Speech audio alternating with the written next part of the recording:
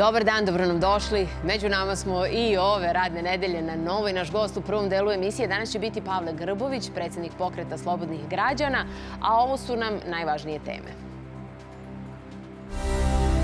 Jedna žrtva gušenja amonijakom u Pirotu, cisterna sa opasnim gasom i dalje curi. Svi koji su potražili medicinsku pomoć su u dobrom stanju, nekoliko ih je zadržano na daljem ispitivanju u Pirotu, nekoliko je prebačeno u Niš, ali po informacijama iz zdravstvenog centra svi su van životne opasnosti.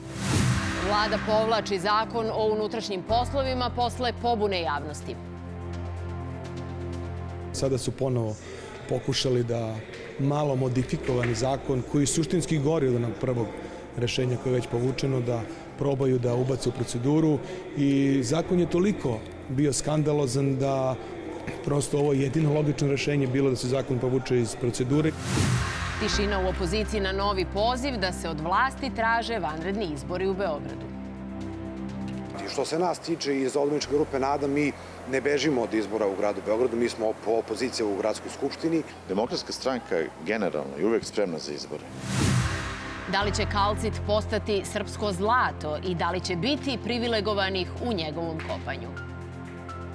To je zaista jedan posao koji je, kako bi se narodski reklo, upala kašika u med. Dakle, apsolutno je posao koji će e, bez prenca doneti veliki finanski posticaj firmama ukoliko ih dobije e, firma bliska Zvonku Veselinoviću i Milanu Radojičiću. Još jedna žrtva estetske operacije u našoj zemlji u temi o kadrovskoj i tehničkoj opremljenosti privatnih klinika. Samo te na prvi pogled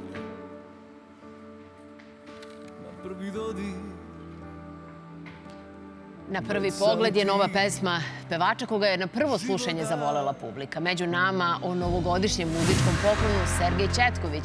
A od nove godine na televiziji Nova gledat ćete ko su najveći gubitnici, ali kilograma u show programu koji će voditi naša gošća glumica Hristina Popović.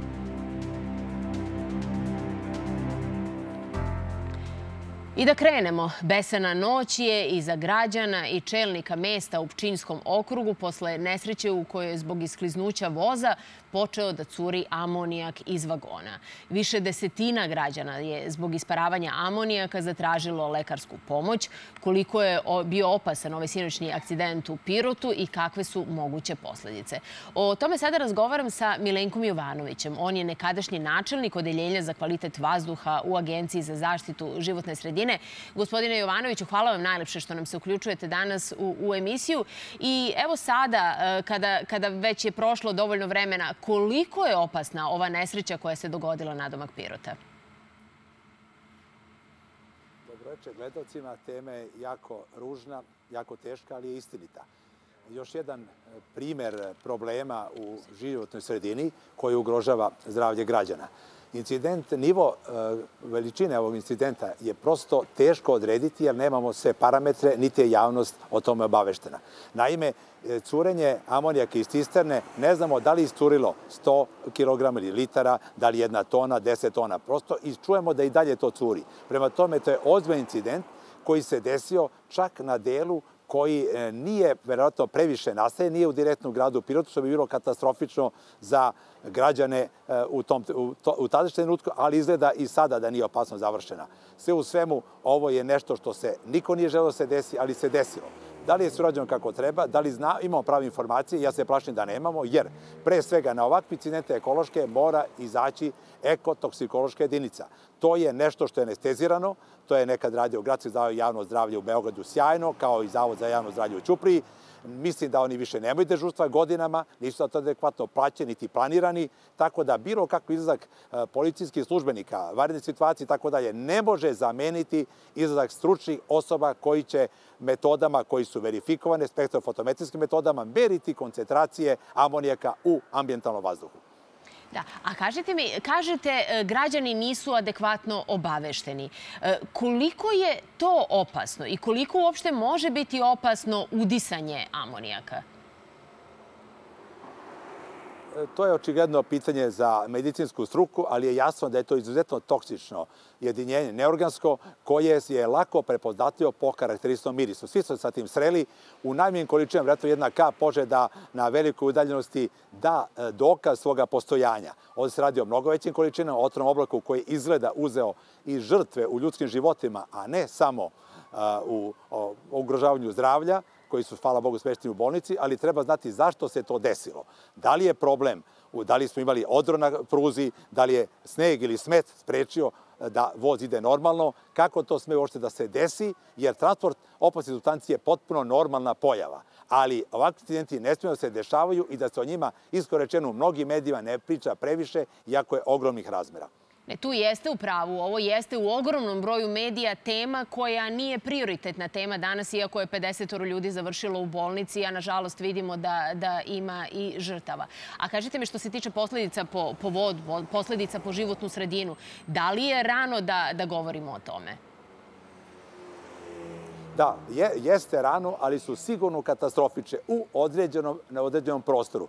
Po povezanosti vazduha, vode i zemljišta jasno je da došlo do a, zagađenja ne samo vazduha, da je to negde upravo se e, na zemlju spustilo, odatle može otići u podzemne vode, u površinske vode, otiše u Nišavu, to su već čuli, to je lako ispaljuje jedinjenje na minus i 3 stepena Celzijusova isparava, Znači, to je nešto što je pro, pro, praktično e, vrlo e, specifično jedinjenje, izuzetno toksično i ne stavlja da bude nikakvog kontakta sa ljudima. Jučerašnja nepolja meteorološka situacija bez vetra i visokog pritiska je upravo pogodova da taj oblak bude da, bliže zemlji. Naravno, sa današnjim danom, sa insolacijom, sa poljevom sunčeve energije, je to sve krenulo da se razblažuje, ali čujemo da i dalje to curi, tako da opasnost nije prošla i i dalje će biti ugroženi građani, njihovo zdravlje. Ne znam ko se bavi sanacijom svega toga, osim obeštavanja građana. Ponavljam, ne vidi se da postoje ozbiljna merenja, koncentracija amonijaka na mestu udesa, a ne u gradu ili u Beogradu ili u Pirotu ako je on dovoljno udaljen. Prosto mora se znati šta je tamo, šta je bilo u tom oblaku i to ne mogu raditi policijski službenici bez obzira što imaju zaštitne opremu. To mora raditi ponavljena stručna ekipa koja je zato osposobljena i zato nadležna da bi dala pravu informaciju. Bez prave informacije sve ostalo je samo improvizacija i to ne sme da se radi sa građanem u ovakvoj situaciji. Da, a šta, šta je ono što biste vi mogli da kažete ljudima u ovom trenutku? Dakle, objasnili ste nam koje su okolnosti. E, vidimo da, da informisanost jeste upitna na, na neki način. Mi imamo informacije da je zasedao Republički štab za vanredne situacije. Imamo informacije da je tu formirano nekoliko kriznih štabova. Ali, kao što kažete, e, neke ključne službe nisu reagovale. Šta biste vi rekli danas u ovom trenutku svakom građaninu i u okolini Pirota i u okolini okolini Niša i u okolini, e, u okolini ovog terena na kome se desilo ovo iskakanje voza? Prvo da budu oprezni sa informacijama, ne zato što možda neko namjerno njih obmanjuje, nego zato prosto što mnogi nestručni ljudi se bave problemom ozbiljnog zagađenja životne sredine, čak i u nekim mirnim uslovima, tako da kažem, a ne ovakvim incidentnim. Šta se može očekivati? Ako je prestalo curenje, a nije, ako, koliko će dugo trajati? Dok će građani biti pod varednom situacijom? Da li će se ta obal proširiti? E, da li je sada smanjena koncentracija 10 ili 100 puta u odnosu na juče? Ako se i sada planiraju merenja, to znači da je situacija juče bila mnogo, mnogo opasnija nego što je rečeno. Bez obzira što to niko nije želeo i što niko nije e, to e, planirao, ali je neko za to odgovoran. Ovo nije vis major, ovo nije nešto iz svemira desilo se, ovo je naš propust. Propust neke od institucija, neka organizacija transporta opasnog materija i sve ostalo što je tehnički prati, što mi, obični građani, ne treba da znamo, ali mora da smo zaštićeni. To nije prvi slučaj, to se dešava transport amonijaka i kroz Smedero, koncentar grada, to se dešava i kroz Beograd. Samo je pitanje kada se može desiti i koje su posledice. Zamislite da se ovo desilo u centru Pirota ili u centru Beograda. Bilo bi mnogo više problema, ne je Boži žrtava. Mm -hmm. I ova, ova nesreća koja se desila sinoć, e, danas smo dobili i saopštenje, e, evo to je objavio naš portal nova.rs, firme koja je vlasnik ovog amonijaka. I ja sam, moram vam reći, tek u tom saopštenju videla da nije reč o jednoj cisterni koja se prevrnula. Firma kaže da, se da su se prevrnule čak četiri cisterne. Dakle, da li, da li mislite i da li imate razloga da verujete da će ova nesreća otvoriti pitanje bezbednog transporta opasnih materija, ali na način da nešto zaista bude urađeno po, po tom pitanju? to mogu da verujem tek ukoliko budu pronađeni odgovorni i zato bili adekvatno kažnjeni. Naravno, ne u smislu vozača lokomotive, nego u hjerarhiji koja o tome odlučuje, kontroliše i prati takve transporte. Četiri prenute cisterne ne znači da sve četiri cure. Gde to piše? Koliko je e, iscurilo do sada? Iz svih, iz jedne? E, znači, zašto ne može se zaustavi curenje? Znači, to su sva pitanja koje građanima ulivaju dalje nepoverenje u postupke institucija kad je u pitanju zaštita njihovog zdravlja ovo je zaštita i vodozahvata, zaštita vode, e, e, amonik je izuzetno toksičan za vodeni svet, znači zemljišta, sve je to za sada nepoznato. Dobro, važno je da više ne bude žrtava, ali istovremeno bez odgovornosti ne, može se pričati o poverenju institucije u ovakvim potencijalnim incidentima koje se uvek mogu desiti, ali u što manjem broju ako se uradi sve što treba se uradi prema propisanim procedurama. Gospodine Jovanoviću, najlepše vam hvala što, što ste bili danas e, ovako putem video veze, naš gost danas u, u Među nama. Milenko Jovanović, nekadašnji načelnik Odeljenja za kvalitet vazduha u Agenciji za zaštitu životne sredine, nam se uključio u program. A sada idemo direktno u okolini Pirota. Tamo je naša Ivana Marković. Ivana, e, šta si uspela da saznaš? Dakle, u ovim trenucima, jel se zna kolika je opasnost po građane i da li je vanredna situacija i dalje na snazi? Majo, vanredna situacija svakako ostaje na snazi, tako su nam kazali iz štaba za vanredne situacije ovde u Pirotu. Ono što jeste važno je da preporuka za građane i dalje stoji Iako su merenja grada pokazala da nema amonijaka u centru grada, Savet građanima je svakako da i dalje ostaju kod svojih kuća ukoliko nemaju potrebe da izlaze. Takođe se savjetuju da ne uključuju klima uređaje i ono što svakako ostaje kao preporuka, to je kazao zamenik gradonačelnika Pirota, je to da deca ne bi trebalo da idu u školu, već da im nastava i sutra bude zapravo odložena, ali ne kao, kao danas. Dakle, danas deca nisu išla u školu, već sutra je preporuka da se ide online.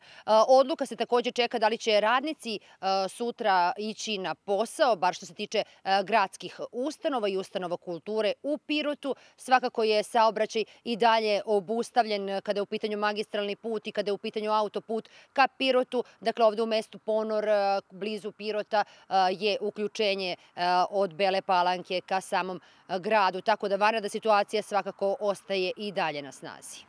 E sada Ivana, tužila što je saopštilo da je jedna osoba preminula u Pirotskoj bolnici pod sumnjom da se ugušila od amonijaka. Kaži mi, e, je li ta informacija potvrđena i da li ima novih saznanja kako o građanima koji su potražili lekarsku pomoć, a čuli smo da ih je oko 50-ak, tako i o preminulima, gde mi deluje da ne postoje sasvim precizne informacije o tome koliko ih je. Tako je, Majo. Dakle, što se tiče te osobe koja je preminula svakako jeste dovezena sa lica mesta. To, to je bilo još jutro su u toku, u toku prepodneva. Čovek je izuzetno star, kažu da je imao neka neurološka oboljenja, ali i srčan je bolesnik bio. Za njega se pretpostavlja da se nagutao amonijaka i da je zato stradao, ali ono što smo uspeli da saznamo jeste da će sutra u toku dana urađena obdukcija zapravo sutra u toku prepodneva i da ćemo tako uspeti da saznamo je li on žrtva ovog incidenta koji se desio sinoć ovde na domak Pirota. Takođe je važno da potvrdimo informaciju da je pronađena još jedna osoba upravo na mestu gde se izvrnula cela ta kompozicija, odnosno gde je ispala iz šina. U pitanju je turski državljanin, to je ono što su uspeli da nam potvrde iz policijske uprave ovde u Pirotu. Dakle, u pitanju je turski državljanin državljanin i on jeste stradao. Sada, da li se on ugušio, da li je splet okolnosti bio takav, pretpostavka, kako kažu, jeste da je najverovatnije nesrećni čovek tražio spas, a da nije video 20 metara dug ponor ispod sebe i da je tako i završio smrtno stradao e, ispod mosta. Što se tiče e, bolnice, tu si u pravu, dakle, e, imali smo oprečne informacije još od noćas i rano jutro skruži postoji informacija da je kroz bolnicu u Pirotu prošlo više od 50 pacijenata, da bi sada uveče, evo malo pre, saznali da je ukupno 44 ljudi pregledano u Pirotskoj bolnici. Dakle, imali jesu pune ruke posla. Ono što nam dr. Goran, direktor bolnice, kaže jeste da nije bilo ništa strašno s obzirom to da su bili pripremljeni i izdržali su sve moguće preglede. Panike među građanima takođe nije bilo, o čemu govori podatak da je 33 njih dovezeno ekipama hitne pomoći, a ukupan broj pregledanih pacijenata je 44. No, sadašnji podaci iz bolnice Pirot glase ovako, svega četiri bolesnika je zadržano na lečenju, tri, zapravo troje, izvinjavam se, jedan je na internom odeljenju i u pitanju je turski državljanin, a ostalo dvoje je na grudnom odeljenju, nisu životno ugrožene. Kada je Univerzitetski klinički centar Niš u pitanju, tamo su danas bili prebacivani pacijenti koji su teže, teže posledice imali zbog ameonijeka i ukupno je 15 pregleda bilo, od toga je šestoro pacijenata svega na klinici zadržano i od toga, nažalost, troje e, dece je pregledano, jedno dete je zadržano i ono je, nažalost, čerka upravo ovog državljanina Turske koji se nalazi i dalje u Pirotskoj e, bolnici. No, kako je ministarka zdravlja rekla, e, svi pacijenti deluju za sada stabilno, tako da se nadamo i držimo fige da to bude konačan broj i da će konačno i oni biti pušteni kućama. Da, nadamo se zaista svi da će se oni jako brzo oporaviti. Ivana, za sam kraj, jesi li imala utisak da za sve ovo vreme su građani ispravno informisani informisani, da su sve vreme upućivani u potencijalne rizike nakon ove nesreće koja se desila? Majo, zavisi i od nas samih gde se informišemo. Vidim i ja sama sam u toku noći i jutra dobijala oprečne informacije, ali naravno moramo birati izvore. Što se piroćanaca tiče, oni su informisani veoma dobro, tako tvrde, danas su tvrdili i kolegama i meni, da su dobre informacije dobijali putem pirotskih portala i putem televizija. Neki pak kažu da je trebalo baš njihova gradska televizija da ih izveštava malo češće, ali imali su iz prve ruke podatke. Gradski štab za vanredne situacije na svakoj preskonferenciji i prilikom davanja svake izjave molio upravo medije da što više e, plasiraju i češće informacije kako bi svi znali da li je voda za piće, da li se sme izlaziti, da li će se raditi, da li će e, deca ići u školu. Dakle, sve su to informacije koje smo još tokom sinoćne, e, još tokom sinoć zapravo mogli da čujemo i da imamo i otprilike su se iste informacije i ponavljale u toku jutra. Evo ono što znam iz prve ruke jeste da je zaista čitava ta ekipa iz štaba za vanredne situacije cele noći bila na terenu, celoga dana i evo stoje nam na raspolaganju i sada kasno uveče, tako da generalno za sada sve pohvale što se tiče njih, a da li su sve istinite informacije došle, to ćemo tek videti. Ono što sada kažu svuda i u Nišu uh, i u Pirotu jeste da je voda za piće ispravna i da nema potrebe širiti dezinformacije da se treba kupovati flaširana voda. Jedina preporuka gde meštani ne bi trebalo još uvek do neke nove informacije da piju vodu jeste Bela Palanka. I ukoliko krećete put Pirota, naravno, nećete moći autoput već okolnim Bela Palanka, pa kroz Ponor do Pirota. I jako je velika gužva. U ovom trenutku mi smo proglasili vanrednu situaciju, naložili da škole i vrtice danas ne rade, kao i glavne privredne institucije Tigar Tajes i Tigar AD.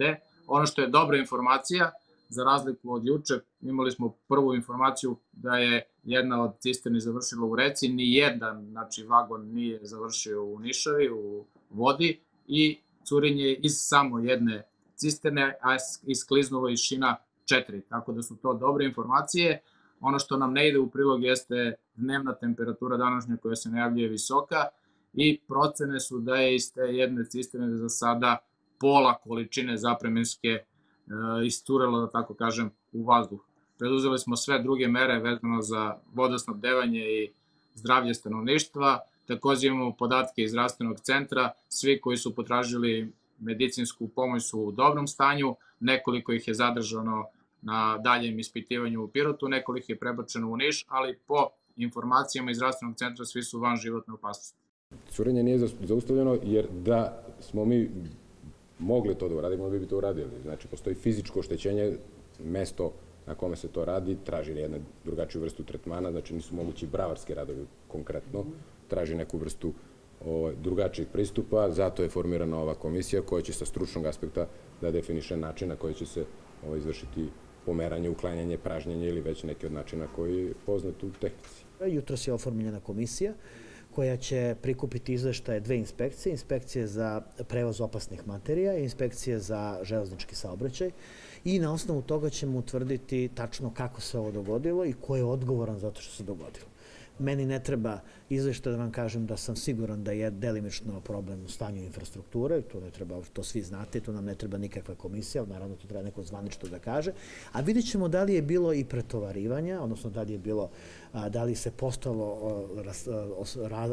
razmak koji je, koji je obavezan po zakonu, da li je bilo neuhodno da bude 20 vagona, ali to ćemo, to ćemo utvrditi i naravno da ćemo, kada bude završen rad komisije, tada će taj izveštaj biti objavljen, kao što će biti objavljeni i mere koje ćemo preduzeti na osnovu toga.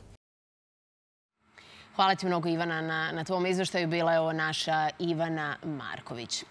A zbog sinoćne nesreće u Pirotu, poslanici Narodne stranke zatražili su hitnu vanrednu sednicu Skupštine Srbije. Ministar Aleksandar Martinović poručio je da nema potrebe za takvom sednicom jer je zasedao Republički štab za vanredne situacije na kome se, kako on kaže, su preduzete sve mere za zaštitu građana i podeljena zaduženja resornim ministrima i nadležnim institucijama. Pozivam vas da se hitno reaguje u tom smislu.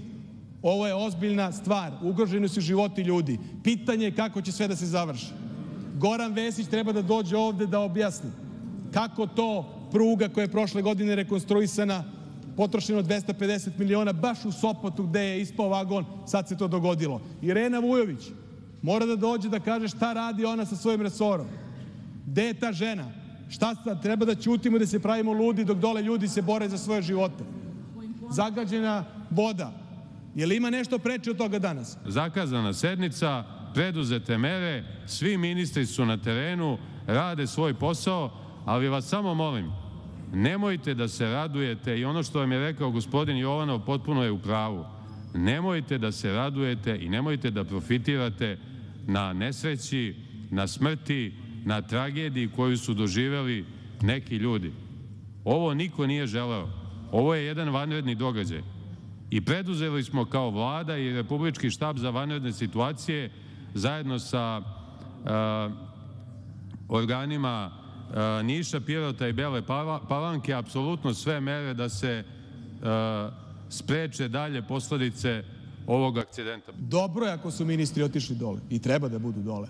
Loše je što su otišli posle 12 ili 14 sati zakašnjenja i tad ste održali vanredni sednicu vanrednog štaba. To se desilo sve sinoć. Sinoć se to dogodilo, ljudi padali mrtvi. Gde ste bili sinoć? Gde ste bili noćas? Nigde. Danas ste seli, pa ajde da idete dole. Dakle, i dobro je što su dole, bolje ikad nego nikad. Ali mi kao Skupština treba da čujemo od njih kad dođu sa terena šta se preduzima, šta se radi, kakve su mere, a to što vi, pa ja ne verujem vama ništa. Policija na kraju ipak neće moći bez naloga da nam ulazi u stanove, barem ne za sada, jer nacrt zakona o unutrašnjim poslovima posle brojnih kritika povučen iz procedure. O nacrtu zakona dalje će se raditi kroz široke konsultacije, saopšteno je iz vlade. Odluka o povlačenju nacrta zakona o policiji mnoge je pozitivno iznenadila. Ipak za Sinišu Jankovića sa Instituta za istraživanje korupcije Kareja, koji se od trenutka objavljivanja nacrta zalagao za njegovo povlačenje, ova odluka bila je očekivana. Razlog za to bilo je, e, bila je odluka koju je Ministarstvo unutrašnjih poslova donelo e, jako brzo nakon što je pokrenuta javna rasprava da se ona produži za 22 dana Znači, to je već davalo nadu da, da neko prati organizacije civilnog društva i uopšte javnost kako reaguje. I mogu bi da kažem da je ovo definitivno dokaz svim građanima koji sumnjaju u svoju moć, da građani jednostavno imaju moć, samo treba da iskažu. Dok su građani i javnost najviše zamerali biometrijski nadzor, naši sagovornici podsjećaju da je nacrt osim protiv građana suštinski bio i protiv policije. Taj zakon zapravo podrazumeva potpunu privatizaciju policije i pretvaranje policije u privatnu firmu ministra koji dobija neverovatna ovlašćenja da može da upravlja policijom kao da je on direktor policije, predviđeno je da može da zapošljava koga hoće, da može da sankcioniše policijske službenike kako hoće, razbijanje demonstracija, kako god oni hoće sa nekim spravama čudnim i tako da. Prosto zakon nije niti u skladu sa međunarodnim pravilima i pravima, a sa druge strane daje neslučene mogućnosti vlasti da se obračunava sa građanima Srbije. A da se vlast ne bi obračunavala sa građanima, nastavit će se rad na nacrtu novog zakona, ali u drugačijem formatu. Ovo će sada biti nova prilika za, za javnost uopšte, da još jednom iskaže na mnogo precizniji način ono sa čime nije zadovoljna i jednostavno ono što ne može da prođe. Ovo nije prvi put da se nacrt zakona o policiji povlači, ali jeste jedan od redkih slučajeva da vlast reaguje na pritisak javnosti i civilnog sektora, kaže Vladica Ilić iz Beogradskog centra za ljudska prava, ali uz jednu opasku. Prošle godine i ove godine nacrti nisu povučeni zato što je neko molio da se to uradi, odnosno to možda jeste e, do toga došlo na taj način, ali se oni povlače zato što su loši. Dakle, i jedan i drugi su a, a, bili toliko loši da prosto nisu bili a, a, a, spremni da se nekim a, malim popravljanjem a, a, ovaj, a, a, da uđu u dalje zakonodavni proces. Da bi se to desilo, Ilić zaključuje da bi osim zaštite građana i ljudskih prava, zakon morao da zaštiti i policiju od političkog uticaja. Marija Čanković, Televizija Nova. United Media upozorila je da je sinoć na televiziji Pink pokrenuta jedna od najdrastičnijih kampanja protiv novinara naših medija u kojoj su oni direktno uvučeni u politički sukob na Kosovu. Ovo predstavlja ozbiljno ugrožavanje bezbednosti svih zaposlenih u kompaniji, zbog čega je neophodna hitna reakcija nadležnih državnih organa. U vanrednoj emisiji televizije Pink u više navrata poslanik Srpske napredne stranke Vladimir Đukanović, kao i urednici režimskih tabloida Dragan J. Vučićević i Saša Milovanović, označili su novinare United Media kao mete insinuirajući da luksemburški mediji rade u sadejstvu sa vladom u Prištini na ugrožavanju bezbednosti Srba na Kosovu. Ove optužbe su potpuno neosnovane i predstavljaju pokušaj da se novinari i mediji koji rade u okviru United Media diskredituju i označe kao neprijatelji naroda. Svedoci smo da se kampanje protiv slobodnih medija pokreću svaki put kada se vladajućem establishmentu ne svidi tema ili pitanje o kojima oni kritički izveštavaju.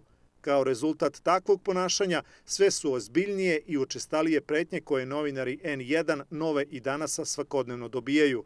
Neke od njih su i pretnje smrću. United Media će o najnovijem ugrožavanju bezbednosti naših novinara obavestiti sve međunarodne novinarske asocijacije.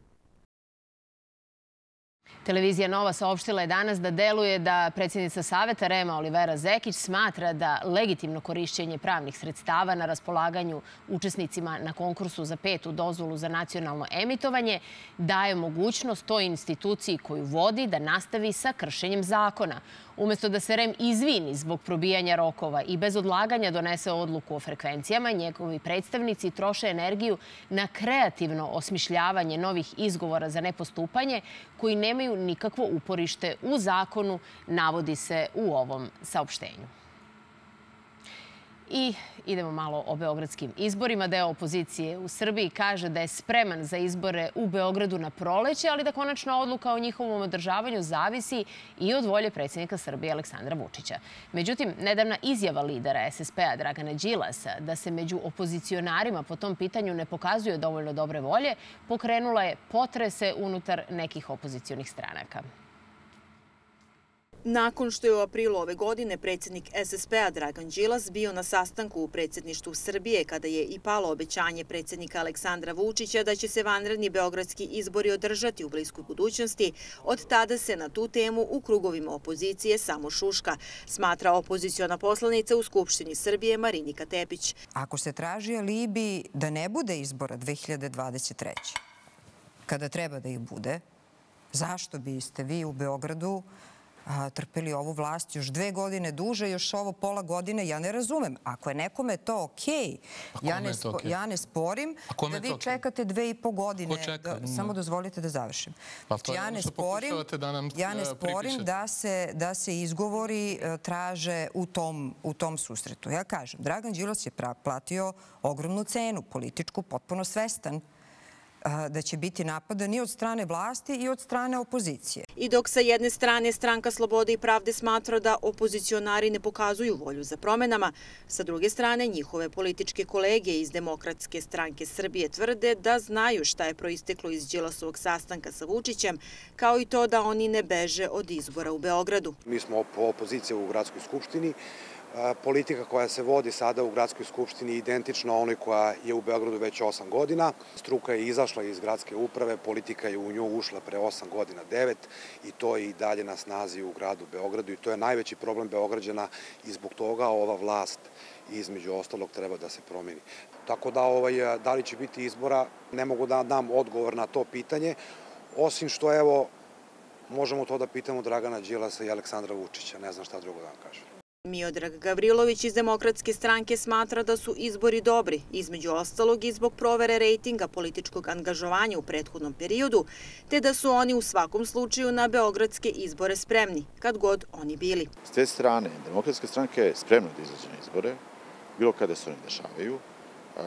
Svaka partija ima svoj neki stav o tome, da li oni trebaju baš da budu sad, sutra ili preko sutra. Nažalost, Demokratska stranka o tome ne odlučuje. Posmatramo situaciju koja je pred nama, Znači, spremni smo u bilo kom trenutku šta god da se desi. Podsjetimo, nedavno je lider SSP-a Dragan Đilas istakao da za njega i stranku nije cilj da imaju poslanička i odbornička mesta, već da promene sistem, te im traženje beogradskih izbora, kako je naveo, jeste logično. Istakavši da ne razume zašto je bilo kome u opoziciji, koje za promenu vlasti u Beogradu, problem da uradi to isto. Ani Tikanović, Televizija Nova. Mnogo tema za našeg prvog gosta danas, predsjednik pokreta slobodnih građana i narodni poslanik Pavle Grbović e, među nama. Dobar dan i u stvari dobroveče. Hvala, hvala što ste mi došli ovde. E, pa hajde da, da krenemo sa onim što svakako jeste tema dana. Mada e, postoji nešto zanimljivo. Jeste tema dana zavisno koji, koji mediji gledate. Dakle, sve ovo što se e, desilo u Pirotu, sve što je dovelo do toga da, da oko 50 građana ode, e, da se pregleda da desetoro ljudi i dalje leži u bolnicama, a od toga je troje dece. Kako vam sve ovo što smo saznali od sinoć deluje u ovom trenutku? Pa, pre svega želo bih da prvo uputim saočešće porodicama oni koji su, nažalost, preminuli. Takođe, želeo bih da uputim svoju želju sa svoje strane da oni koji su osetili određene tegobe da prođu što je moguće bolje sa što je moguće manje posledice u narednom periodu. Mislim da je to u ovom trenutku najvažnije. Znate kako kažu, kad uđete u pogrešan voz, sve su stanice pogrešne. Nažalost, to se pokazalo kao tačno upravo na primjeru jednog voza. Koliko smo do sada upoznati sa činjenicama, reči o tome da se nisu poštovala ograničenja u pogledu toga koliko materijala opasnih može da se prevozi na tom, na tom delu pruge. I to ono što se pokaže milion puta u životu. Dakle, vi neko ograničenje možete da ignorišete i hiljadu puta da prođete bez posledica. Uh -huh. Ali hiljadu i prvi put će te posledice biti katastrofalne. Dakle, nije uopšte pitanje da li će se desiti neka tragedija, nego pitanje kada će se desiti, onda kada nešto sistematski kršite. To se sada desilo i nadamo se da će posledice biti što je moguće manje. Danas je naravno u Skupštini bilo rasprave na tu temu. E, poslanici opozicije su tražili da se utvrdi čija je odgovornost to što se desilo i naravno da smo od strane predstavnika vlasti optuženi za izazivanje panike. Mm -hmm. Bih volio da jednu stvar razjasnim. Dakle, panika nastaje onda kada se građani nađu u okolnostima koji su im nepoznate i koji su za njih opasne i kada nemaju jasne uputstva kako da se ponašaju. Dakle, opozicija nije mogla da stvori paniku. Panika već stvorena. Ona je nastala, ona je realna i ona je očekivana u takvim okolnostima. Ono što je problematično jeste ko je paniku održavao time što je građane svesno održavao u stanju neizvesnosti i stanju neznanja. Dakle, to je RTS. Mm -hmm. To su predstavnici ministarstva. To su predstavnici vlasti. Ko je od njih sinoć izašao da građane upute kako treba da se ponašaju? Da li je RTS prekinuo program? Da li išao onaj Kajron sa uputstvom šta treba da radi? Ništa toga nisu radili. Pokušali su da sakriju da se nešto tako desilo, jer na taj način pokušavaju da sakriju i tvrđivanje nečije eventualne odgovornosti. Dakle, to je, to je skandal.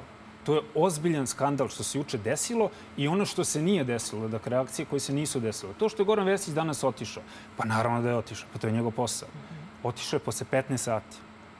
15 sati je za nekoga kasno.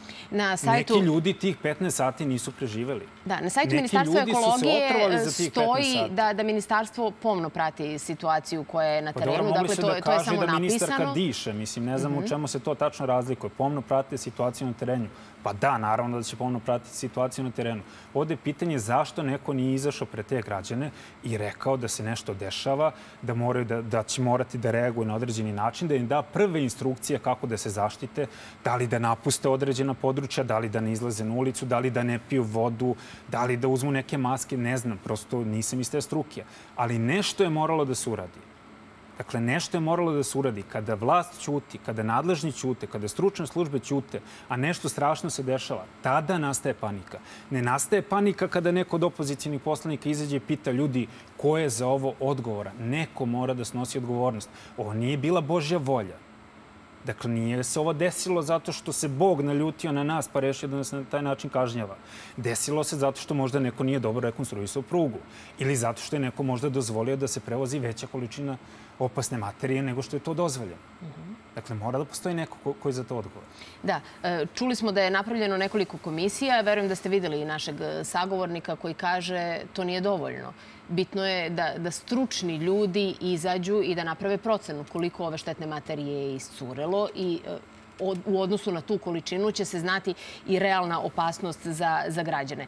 Sam ministar Vesić kaže ovo nije prvi put da na istom mestu je došlo do iskliznuća voza. On kaže 2018. potpisan je taj ugovor o rekonstrukciji pruge od Niša do, do Dimitrovgrada. Danas smo videli da, da neki opozicijani poslanici u Skupštini su citirali i deo izveštaja same vlade, izveštaja iz 2017. godine u kojoj se navodi da upravo ta tačka puta kod Dimitrovgrada jeste izuzetno, izuzetno rizična.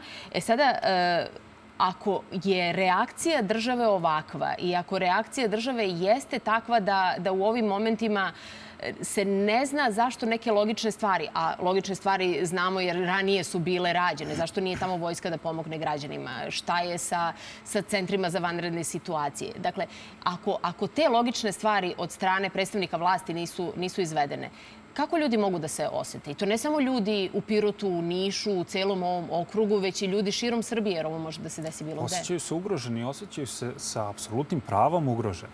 Dakle, znate kao kaže ona jedna čuvana izreka, kad nešto ne želiš da uradiš, ti formiraš komisiju i onda se ne uradi ništa.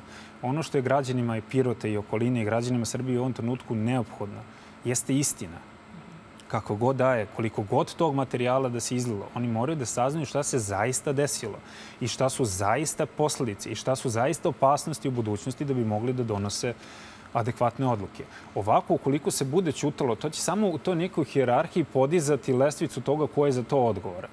Dakle, i Goran Vesić će biti direktno odgovoran za sve ovo što se desilo ukoliko i on i njegovo ministarstvo i Irena Vujović i njeno ministarstvo i sve nadležne službe ne izađu pred građane sa istinom o tome šta se zaista desilo i šta će zaista biti posledice. Do sada delo je da su oni pokušali da sve ovo što se desilo zateškaju. Ne samo oni, već i kompletan sistem koji je oličen i u televizijama sa nacionalnom frekvencijom koji danas izveštavaju kao da je to jedan incident manjeg obima, koji je eto lokalnog karaktera, izlilo se nešto pa će malo da smrdi ili po rečima e, predsednika, to je gradonačelnika koji kaže da amonijak nema miris. Dakle, to je nešto što će biti prolazna neprijatnost za te građane. Kao u Beogradu kada osjećate leti onaj smrad od onog džubriva pa eto, kao bit će dan, dva i proći. Neće proći. Jednostavno nekim, nekim ljudima će ostaviti posledice. Ali moramo da vidimo da li će te posledice biti dugoročne. E, kažete da, da su poslanici u Skupštini bili izloženi tim uvredama da, da stvaraju paniku. Međutim, Aleksandar Martinović je rekao takođe, e, apropo poslanika opozicije, da se raduju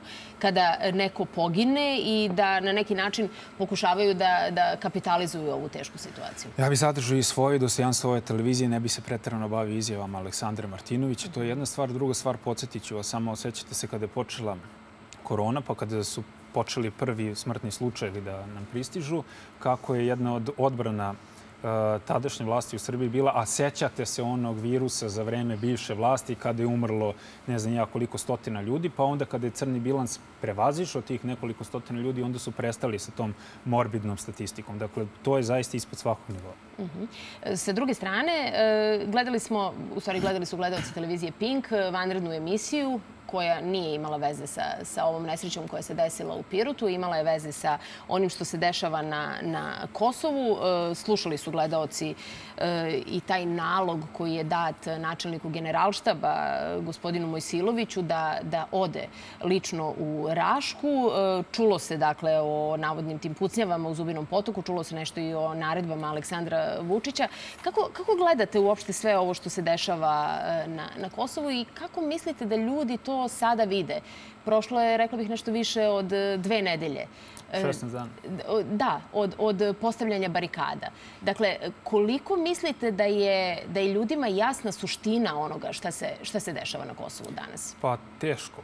Mislim da sada većina građana da ih pitate posle ovih 16 ili 17 dana zbog čega su barikade nastale, jako mali procenat njih bih znao da ono to pitanje odgovori. Ono što je ključno pitanje i što mislim da se u našoj javnosti malo o tome govori i da malo ko ima hrabrosti da postavi to pitanje jeste da li te barikade bilo kome, a u prvom redu Srbima sa Kosova išta dobro donose.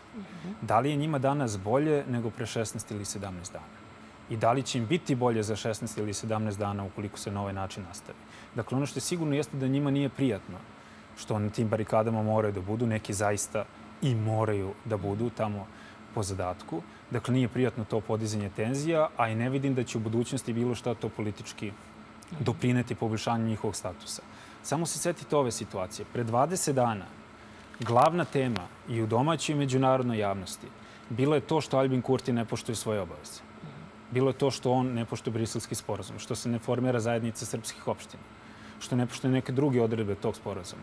Srbija je prvi put posle dužeg vremena imala prednost u pogledu to jest kako međunarodna zajednica gleda na, na sve te teme. Albin Kurti je bio tema. Danas to više nije tema. Danas je tema zašto su postavljene barikade.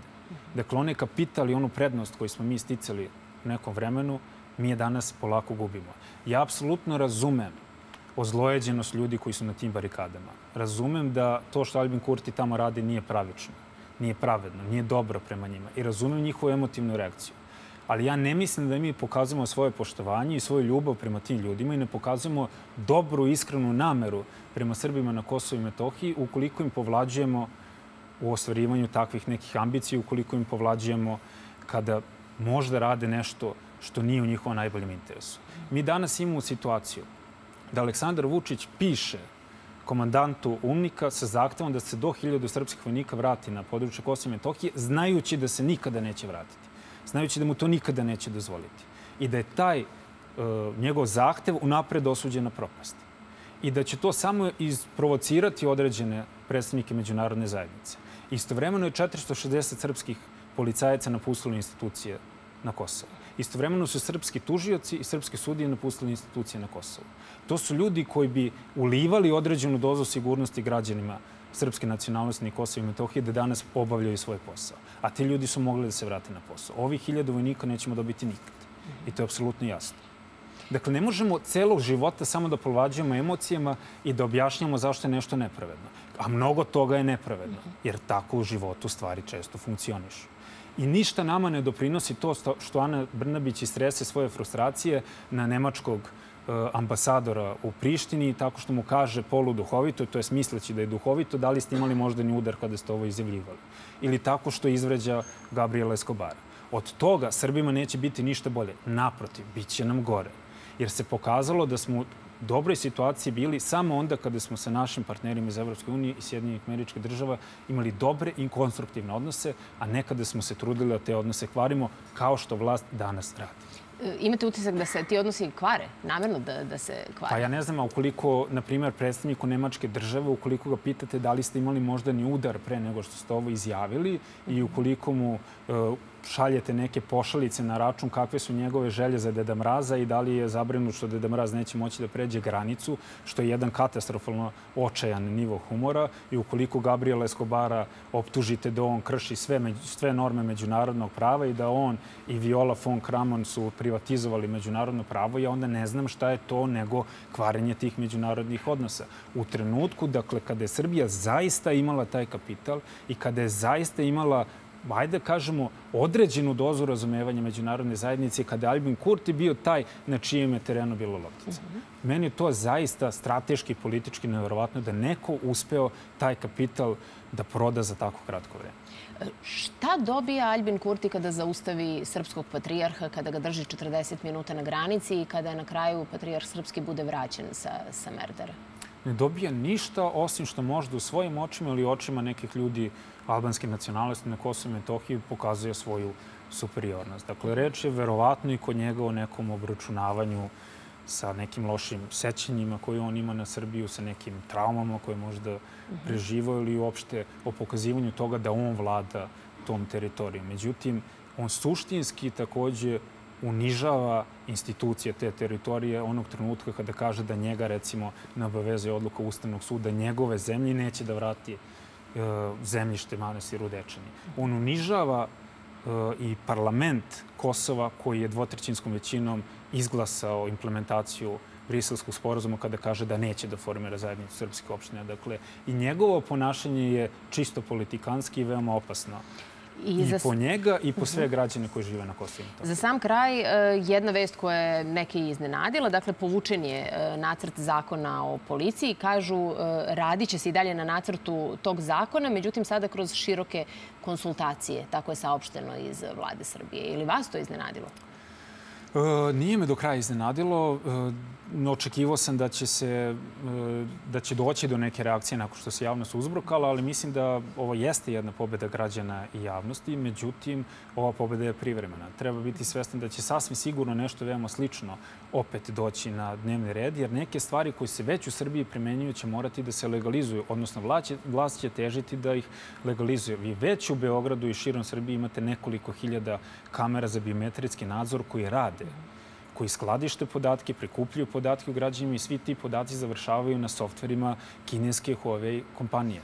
To nije nešto što je u skladu sa postojećim zakonskim okvirom u našoj državi, to je nešto što će oni morati da legalizuju. Dakle, oni neće odustati od pokušaja uvođenja tog totalitarizma po kinesko-ruskom modelu, samo je su u ovom trenutku naišli na suviše žestok otpor da bi mogli da nastave. Ja verujem da će oni to pokušati ponovo da urade, ali takođe verujem da će naš odgovor i ovog puta biti još jači. Jer ovo je za nas, ne samo kao predstavnike opozicije, već za sve građane, za sve misleće ljude koji imaju potrebu da se pobune protiv nepravde, koji imaju potrebu da iskažu svoje mišljenje, da iskažu svoj protest i da iskažu svoje nezadovoljstvo. To nije više političko, to je čisto egzistencijalno pitanje.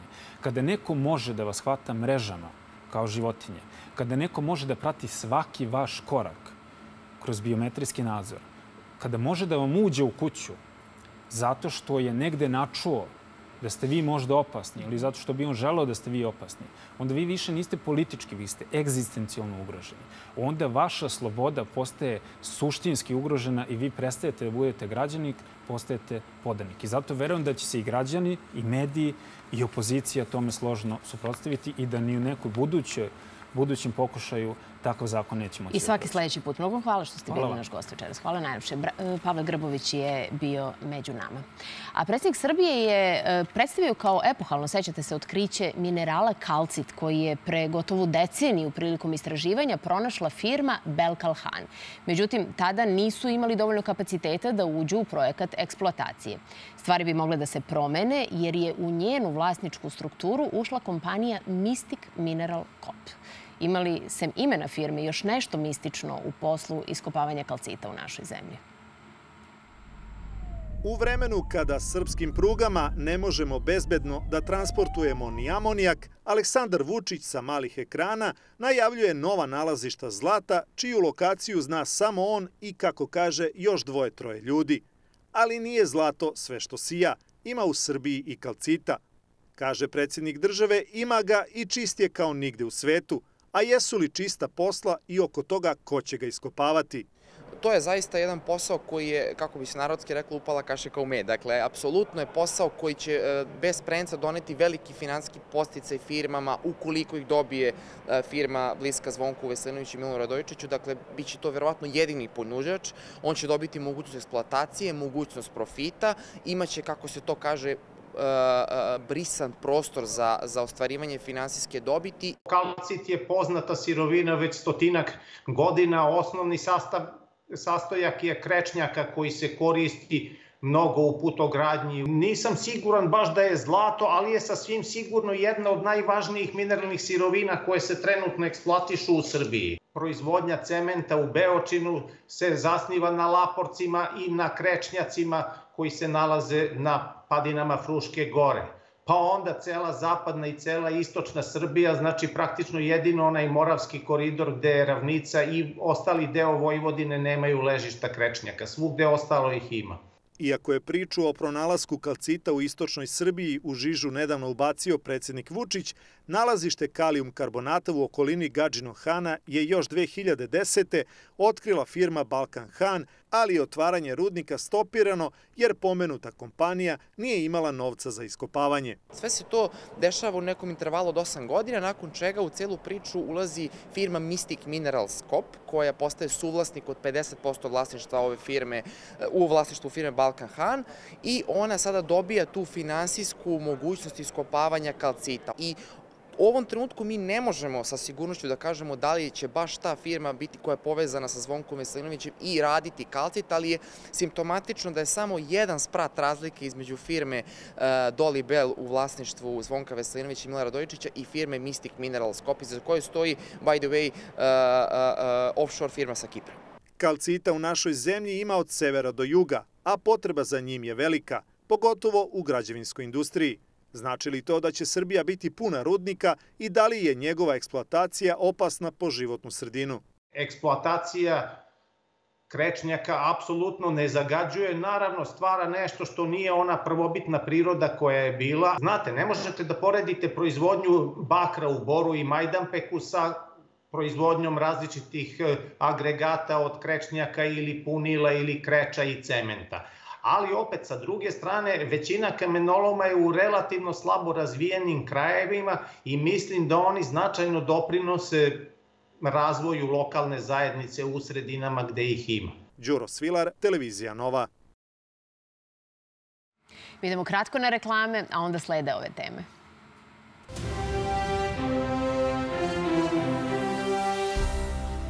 Samo za tebe znam Dolazi nam umeđu nama Sergej Četković, a mi vas vodimo u ruski stratofor. Kristina Popović će nam otkriti sve tajne najvećeg gubitnika novog show programa na Novoj.